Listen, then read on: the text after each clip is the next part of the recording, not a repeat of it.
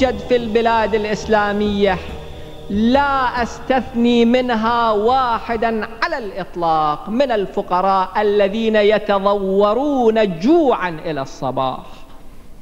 في رواية أخرى أيضا يرويها الكافي الكليني في الكافي يقول حدث هنالك مجاعة أو غلاء أو قحط أو ما أشبه ذلك. الإمام صلوات الله عليه قال أخلط حنطتنا بالشعير. لأن في أيام الرخص الناس كلهم يأكلون الحنطة.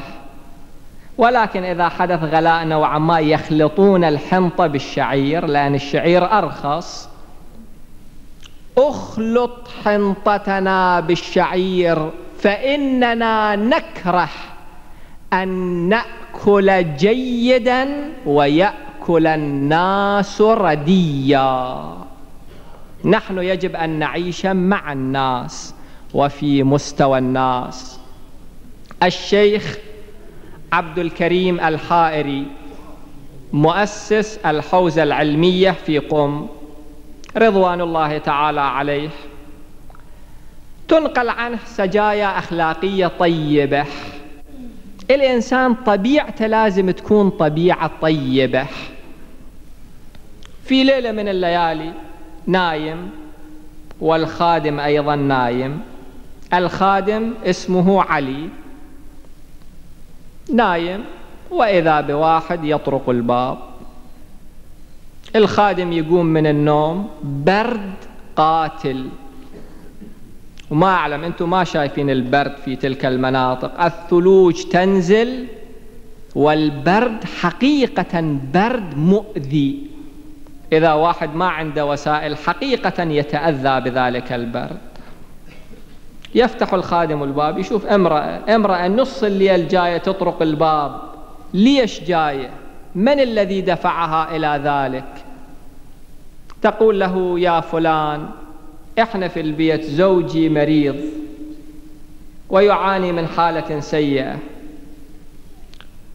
دواء ما عندنا غذاء ما عندنا فحم ما عندنا حتى نشعل الكرسي. هنا ماكو كرسي الكرسي آلة خشبية مثل المنضدة.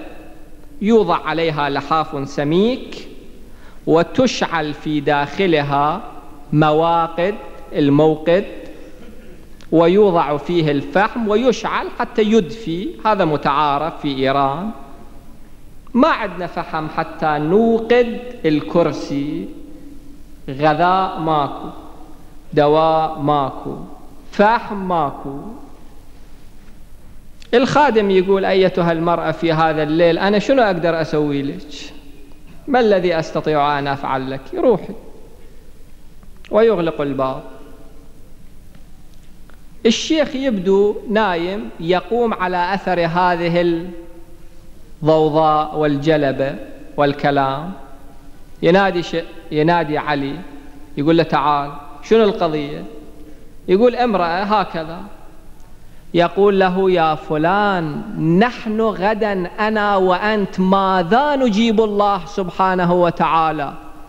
إذا الله قال لنا امرأة تعيش في هذه الحالة ونحن لم نصنع لهم شيئا.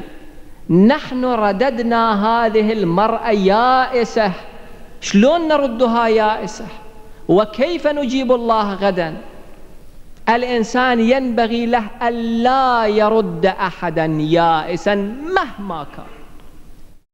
لعله يكون صادقا. وإذا كان صادقا حقيقة فالإنسان يجب أن يكون بانتظار النقمة الإلهية. الله سبحانه وتعالى إذا غضب على فرد أو غضب على مجتمع الغضب الإلهي يدمر كل شيء. هذه الجزئيات تدمر البلاد والعباد. آه المستضعف وآه المظلوم يدمر كل شيء.